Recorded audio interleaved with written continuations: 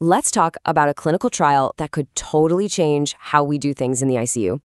So, picture this a patient in the ICU where every single second really, really counts.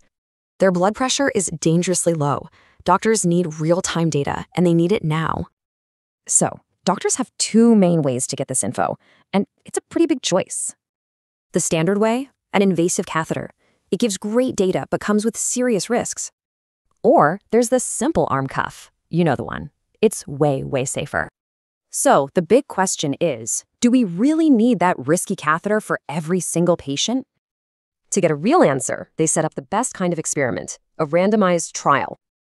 Over a thousand patients were split up to compare these methods head to head.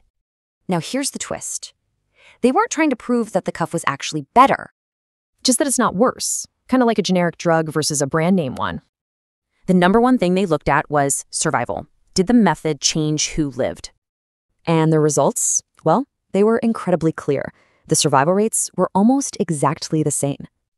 So that arm cuff was officially non inferior. It didn't put patients at greater risk. Huge. Okay, so survival's the same.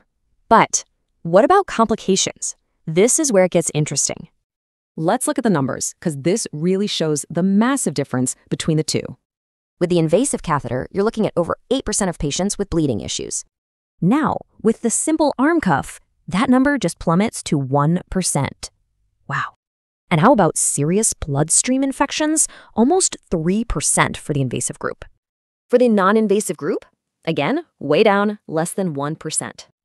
So, what's the big takeaway here? What does all this mean for the future of ICU care?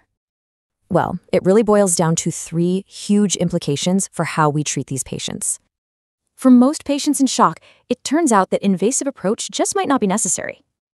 It really makes you wonder, what other standard practices should we be questioning next?